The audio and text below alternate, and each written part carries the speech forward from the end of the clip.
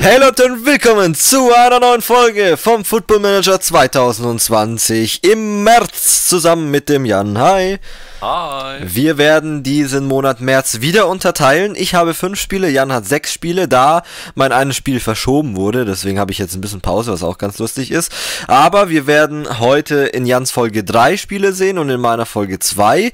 Und in beiden Folgen werden wir Euroleague Hinspiel vom was ist denn das überhaupt?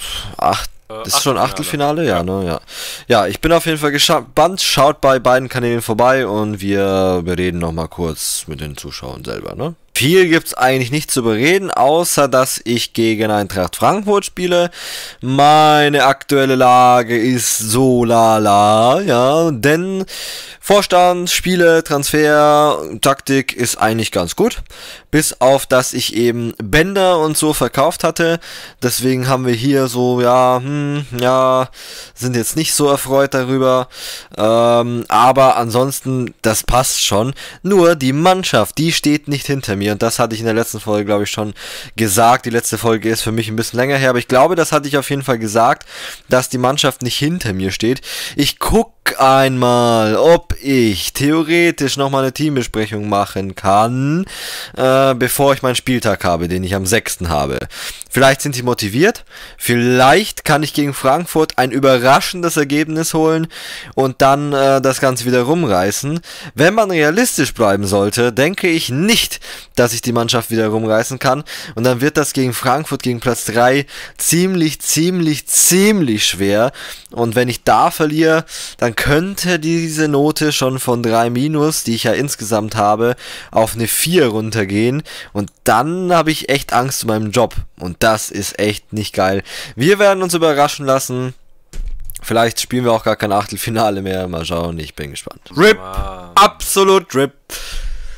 Nein! ist erkältet. Was soll ich jetzt machen? Ich muss ihm eine Injektion geben. ja, ich glaube echt. Kai Havertz ist verletzt. Okay, Leute, wir starten mit dieser Aufstellung rein. Wir haben das jetzt so ein bisschen geändert. Also ich wollte Kai Havertz unbedingt spielen lassen, weil äh, jetzt so kurz vor Spielbeginn da nochmal Taktik irgendwas zu ändern, dann Mittelfeld zu tauschen und dann links, rechts, um unten und so. Das war mir jetzt zu doof. Wie gesagt, deswegen hier die Spritze. Vielleicht ist das ja sogar gut. Müssen wir mal gucken. Äh, Davis ist raus. Äh, den wechseln wir vielleicht mal ein aber mir wurde die Empfehlung gegeben und ich habe ausnahmsweise mal auf einen äh, Co-Trainer gehört.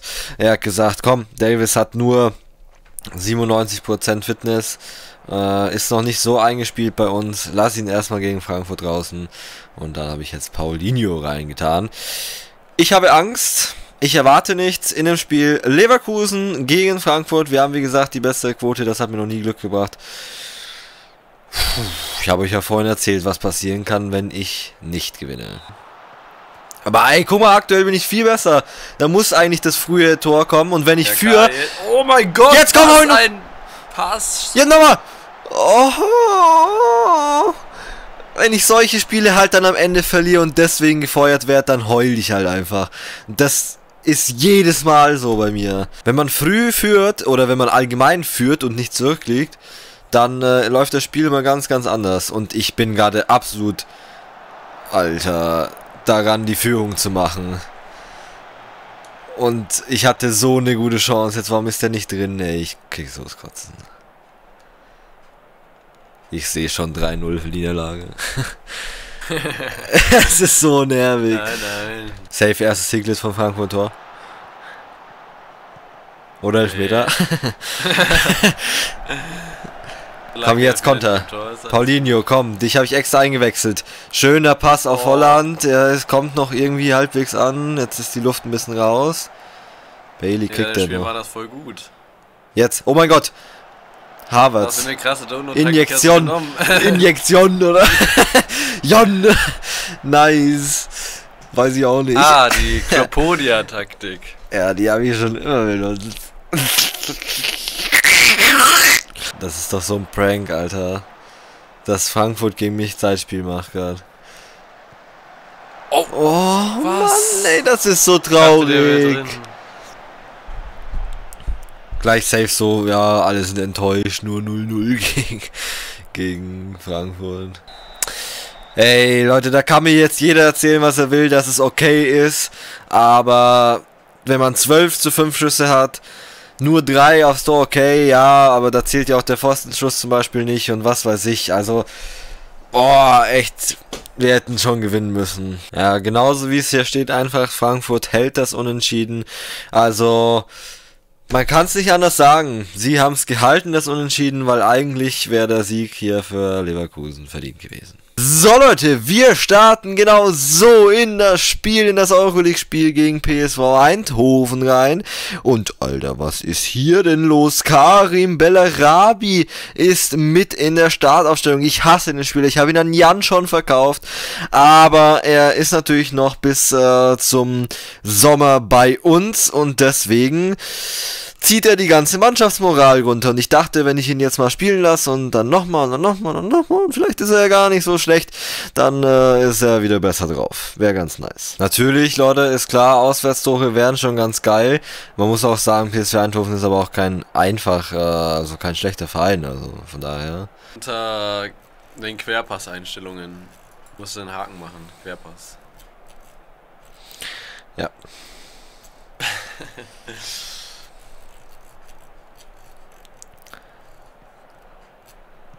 Und dann musst du noch einstellen, dass er Jetzt Querpass. Querpass. Ja! Oh mein Gott! Oh mein Querpass! Hab ich doch gerade eingestellt, weil du es gerade gesagt hast. Ey, danke Mein für deinen Tipp. ist sogar ein Tor, was? Danke für deinen Tipp. Ja, meine Stürmer sind halt einfach besser als deine. Alter, ey, wenn du mir das nicht gesagt hättest, dann hätte er jetzt einfach geschossen. Ja. 1-1. Auswärts, oh, jawohl. uh, wieder Jan voll. uh. Ja, ja, dann darf ich jetzt spoiler ich ja gerade, dass du ein Tor gemacht hast. Oha, er hat ein Tor gemacht. Wer ich? Ja, krass, ne? Ja, ja, weiß ich. Das ist heftig. Oder spoilst du gerade schon wieder, dass die anderen Tor oder dass ich noch ein Tor habe. Bellarabi, Ja, oh, Bellarabi hat ihn. Tor. Spoiler ich, dass du noch ein Tor machst. Ja. Querpass? Davis. Oh, als ob. Und diesmal hat er ihn aber nicht reingemacht. Ey, ich bin Oh. so enttäuscht.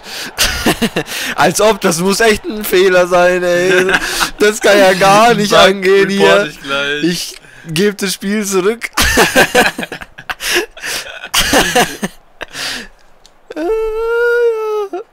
oh, jetzt Querpass, bitte, Davis. Nee, er schießt selber und er ist drin! Das war ein indirekter Querpass. Indirekter Querpass. Ja, hast du nicht gesehen? Nee, nee. Ja, guck doch mal hin jetzt, hier Wiederholung. Ja. Ein indirekter Querpass. Ah, oh ja, indirekter Querpass. Oh. Oh, da gehen wir in Führung. Ist einfach Déjà-vu gerade. So, zweite Hälfte. Ich habe Alario ausgewechselt, der hat den Schlag abbekommen. Ich muss ja Fitness ein bisschen beachten und will ja nicht, dass er sich weiter verletzt. Es spielt dafür jetzt dieser komische Typ hier, dieser Philopapu und so. Oh, jetzt Davis, wieder ein Querpass. Und da ist doch dieser Flopapu Bellarabi. Davis! Pfosten. Oder? Nee. Für Popli. Oh, Popli. oh, ja, schade. Aber, Da hat der zweite Stürmer gefehlt zum Querpassen. Ey, das wäre so krass, wenn die halt so richtig Querpässe machen würden halt auch. So richtig. Ja, ist halt so zu zweit aufs Tor zu laufen und dann einfach rüberlegen. Ja. Aber das habe ich noch nie gesehen, dass es hier überhaupt möglich ist, dass sie zu zweit aufs Tor laufen. Oh, jetzt Volland. Da, da, piep, oh, in der Mitte. Wie, wie, Piep, pap, piep, pu, pu, in der Mitte, ja. Hui. Volland, ey, so schön, wie er das hier macht. Oh Jetzt Gott. spielen die Mitte auf Piep, Pap, Davis! Bieber Davis. Nee, der ist es nicht, aber Alfonso Davis. Der Fonzi, der Fonzi. Jawoll. Yes. Ja, waste time jetzt. Ja, jetzt. ja, ich stelle jetzt echt mal ein bisschen zurück. Alter, stell mal vor, wir spielen nächste Runde gegeneinander, ey. ja, wie wenn du weiterkommst. ich glaube auch, ich komme nicht weiter. Was? Bluetooth, ja, genau. Hey, Bellarabi ist so ein Oh, jetzt Oh, das ist Davis! Tor, ja gesagt. Fonzi, der Fonzi! Yes! so schon safe weiter. Ja, wenn ich jetzt doch eins mache, dann ja. Was? Wie viele Tore willst du denn schießen? ja, mehr als die Gegner. auch mit 3-0. Ja, ja, eben nicht. Ich verliere da richtig. 4-2 hast du gesagt, na hoffentlich nicht. Ja, 4-2 hab ich Nee, nee, geh weg hier. Eindhoven soll weggehen. Oh. 5-1 eher so. Ecke, scheiße. Jetzt kontern bitte. Bipapo auf Bellarabi. Jetzt Bellarabi Querpass. Er wollte schießen, der. Oh, die haben umgestellt. Ja. Dreierkette jetzt. Naja, da war ich noch unter. Uh. 3-4-3. Nee, da passiert nicht mehr. Oh, doch, vielleicht jetzt noch ein Tor. Davis, der ist jetzt aktuell richtig gut gerade. Ah, scheiß Pass. Aktuell richtig gut gerade. Weiser, Ta, Weiser, Ta. Und jetzt auf Volland, der spielt jetzt in die Mitte auf Davis. Nee, doch nicht. ja, ist vorbei. Oh, Nee, pfeift bitte einfach auf. Spielstopp, hallo. 4-2. Mach Spielstopp. 4-2. Spiel. Alter, die. 4-2. Jawoll, 4-1. Yes, das war ein gutes Spiel. Können wir jetzt bitte mal Lob bekommen, auch von den Spielern? Von Bellarabi vielleicht? Ja, Er so, das, oh, wir haben nur so hoch gewonnen, weil ich auf dem Platz stand. ja, nee, er sah extrem begeistert aus. Und es gibt auch andere, die nur eben begeistert aussahen. So Leute, das war's auch schon mit der Folge. Mein Abschlussbericht ist natürlich gar nicht so schlecht durch diesen Sieg jetzt gegen Eindhoven. 4 zu 1. Das war eine Hausnummer. Natürlich, ich weiß es. Im Rückspiel wird Eindhoven alles geben. Sie müssen ja auch. Ich weiß nicht, ob ich da eher mauern soll oder ob ich da eher probieren soll, noch ein Tor zu machen. Keine Ahnung, ich kann's euch nicht sagen, aber ähm, ich werde einfach probieren, das Beste draus zu machen.